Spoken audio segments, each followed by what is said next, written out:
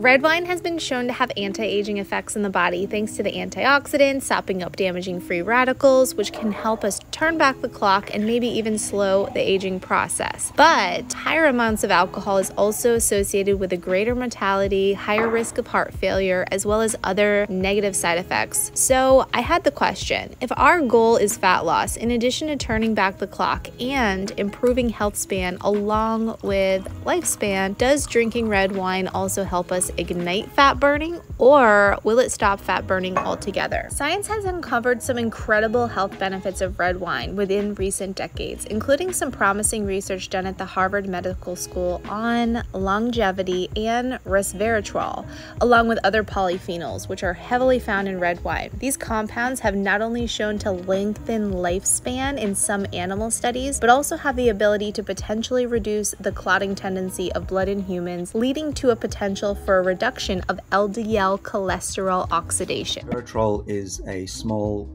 what's called a polyphenol produced by many plants to survive. It's produced by grapes and it's concentrated in red wine. In an effort to maximize my own health and lifespan, as well as to tap into fat stores for fuel, build muscle, and create my ideal body composition as I get into my 40s, I decided to follow a popular protocol most anti aging experts recommend called time restricted eating. Within my lifestyle of fasting, I'm consuming water only for over 20 hours a day most days and within my eating window, I consume all my nutrition for the day within one to four hours of time. Every day, I focus on eating one meal a day and have worked up to this over the past year with intermittent fasting, starting with only 16 hours. Based on the research I've done on longevity, I found some impressive evidence that supports drinking a moderate amount of wine to help support living a long and healthy lifestyle. However, with the goal of fat loss and with only consuming one meal a day in such a short eating window, I question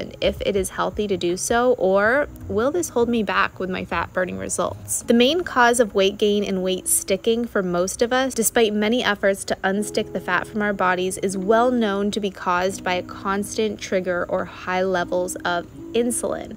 As we know, insulin resistance is the core cause of metabolic syndrome. The normative aging study from Harvard University, including its 30 years of follow up, uncovered that moderate intake of alcohol was actually found to significantly lower insulin levels and insulin resistance compared to either the high alcohol intake or no alcohol group. What this tells us is that there is a correlation between the right quantity of alcohol when it comes to fat loss to also see the most benefits benefits from red wine. In 2005, the American Diabetes Association found an incredible 30% reduction in type 2 diabetes with moderate alcohol consumption. But how can this be if we've been told for years that drinking alcohol will cause us to gain weight? Researchers hypothesized that the improvements of these patients were due to the improved blood glucose, cholesterol profiles, and improvement in blood clotting, as well as reduction in blood pressure from the moderate alcohol intake. I personally personally wear a continuous glucose monitor on my arm 24 7, and I have seen this blood glucose reduction from consuming red wine myself as personal experience from these findings. But before you run out and start drinking a bottle of wine a day to get these incredible benefits, consider that overconsumption becomes toxic to the liver, which will reverse any potential health benefits and cause long term health effects, such as slowing down liver detox, increasing fat storage, and some potential heart issues. The liver is our hardest working working organ in the body next to the brain and nervous system. This organ not only detoxifies the body, but also breaks down hormones and proteins as well as stores vitamins and minerals. The liver is responsible for all fat metabolism, and too much alcohol can cause the liver to be burnt out, and especially if you follow a low carb or ketogenic lifestyle,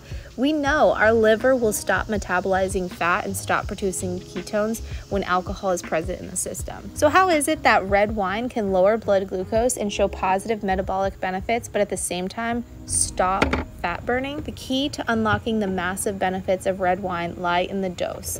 The French eat almost three times as much animal fats compared to Americans, but have half the heart disease. And the reason believed for this is because of their habits around drinking red wine with their meals. France produces more wine than any other country in the world, and when it comes to sitting down for a meal, having a glass of wine has historically been a part of their culture for thousands of years. Where in America, we tend to drink alcohol more recreationally, with or without food, and we drink more heavily on all different types of alcohol, including beer, liquors, and white wines. What's that? Oh, it's a Bordeaux.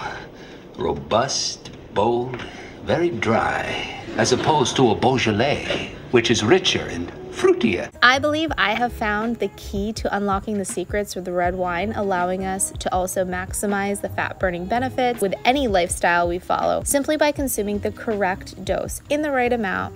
And for my findings, I don't believe you have to completely cut alcohol out altogether to achieve your health goals, but utilize it in a way that positively impacts your results. Red wine also has incredible effects on your microbiome, and as published in a 2019 paper in the Journal of gastroenterology, a team of researchers found drinking red wine was associated with a greater diversity in a healthier gut microbiota compared to not drinking or drinking other types of alcohol. Interestingly, other types of wine, like white wine, didn't have the same effect on the microbiome. The microbiome is a collection of microorganisms in the environment and play an important role in overall health. An imbalance of good gut bugs compared to bad gut bugs can lead to adverse health effects such as reduced immune system, weight gain, or high cholesterol. But overconsumption of alcohol can contribute to leaky gut, which also causes problems with the microbiome. So, should we drink red wine every day, and how much to get the benefits without blunting fat burning? The answer to this is very specific to the individual, but for most healthy adults who are looking to create a lifestyle that is long term and also helps us achieve our short term fat loss goals, I have uncovered a specific protocol that I will personally be following based on the research and evidence and personal experience. If red wine causes you to crave high sugar foods or initiate snacking or overindulgence, this is a trigger that you should limit consumption until you reach your fat loss goals. Or look for a red wine that contains less alcohol and less sugar. Additionally, if you have been in a plateau or your fat seems stuck no matter what you do,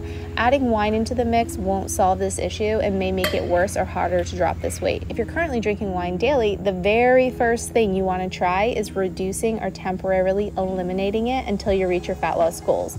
And then add it back when your liver and gut is healed and fully functioning to help you burn the excess fat. If your goal is fat loss, the consumption of daily wine may slow this progress down, and that is okay if you're more focused on building a long term lifestyle versus a quick fix with fast results. For me, here's the protocol I'm currently following within my lifestyle with the goal of burning stored body fat for fuel, increasing longevity and health span, as well as turning back the clock and aging in reverse. The key for me is sticking to one glass of wine most days and less than two glasses of wine maximum in any one sitting. I mean, let's be real. Who can consume only one glass of wine a day anyway? So, realistically, having two glasses maximum makes sense. My goal is to only drink red wine when paired with a meal following the habits of the French for the blood glucose lowering effects. And since most wine contains added toxins such as glyphosates and pesticides that are sprayed in the crops, with the most heavily sprayed wineries located in the United States, through my research, I've found it's best to choose a red wine from regions such as France, Italy, or Austria, as these countries are more rigid on their restrictions of the use of pesticides, and most reds from these areas also contain lower sugar as well as a lower alcohol content of 12.5% or less, which helps with reducing the amount of ethanol, which in turn will help with fat burning. To avoid overworking my liver and to help me with weekly detoxing, I will regularly go on week long stretches with no red wine and at a minimum give my liver a three day break every once in a while. Additionally, from the research I've done, one glass of wine can also reduce cortisol, which is our body's primary stress hormone. This hormone increases glucose in the bloodstream and in turn increases insulin, which in small doses is healthy at times, but can have profound negative effects on someone who has a very stressful lifestyle and may be overproducing cortisol. The relaxation effect of red wine has the potential to lower cortisol, but in moderation, as heavy use actually does the opposite and raises cortisol. So, one to two glasses maximum is perfect. Hopefully, uncovering this information helps you in building a sustainable, healthy lifestyle that not only helps you achieve success with your short term goals, but also sets you up to live a long and healthy life. Thanks for watching this one. If you're interested in learning more about my time restricted eating lifestyle and the foods I'm eating for optimal health, check out some of my most recent videos I've done on this channel. I think you should check out this video next.